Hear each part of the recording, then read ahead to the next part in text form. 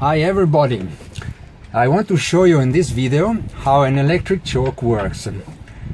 The motor is a marine engine 1987 Volvo Penta AQ211A equipped with a, Rochester 2GE carburetor with electric choke.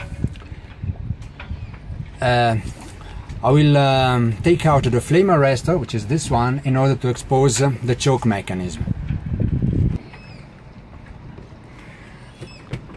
Okay, um, the core of the mechanism is uh, a thermostatic coil device which is located here and is linked to the, to the choke valve which is this one. The choke valve now is in open position because when we last stopped the motor the motor was warm and so the choke valve was open. The thermostatic coil device is something like this. You see it is a, a sort of coil-shaped spring with an electric heater inside. When you start the motor, the electric heater will heat the coil, which will unwound.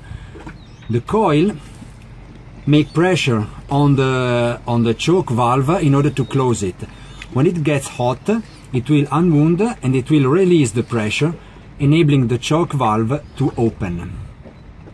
Another important device uh, of this carburetor is uh, the vacuum braking diaphragm, which is this one. And as soon as the motor starts, uh, due to the vacuum which creates inside the motor, the vacuum bra uh, braking diaphragm will slightly open the choke valve in order to allow the motor to not, not to stall during the first seconds before the, the, the choke warms up. So, in order to um, uh, to switch on the choke, we have to operate the throttle, and this will enable the spring to close the choke valve. We will start now the motor, and we will see that in approximately one and a half two minutes, the choke valve will open due to the um, to the thermostatic coil.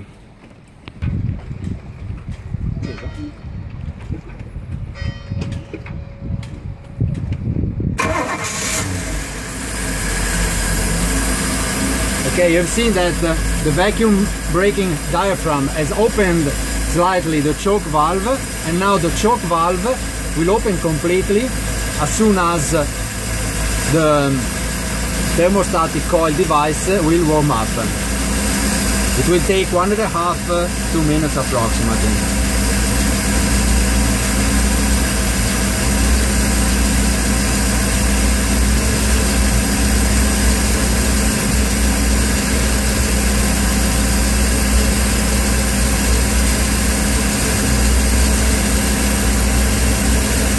You see that it is slightly slowly opening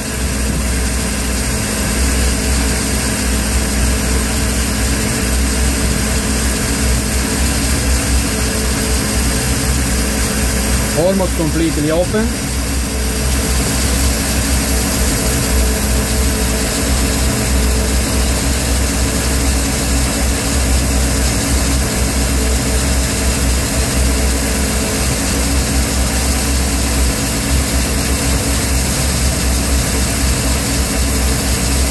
Okay, now the choke valve, as you can see, is completely open.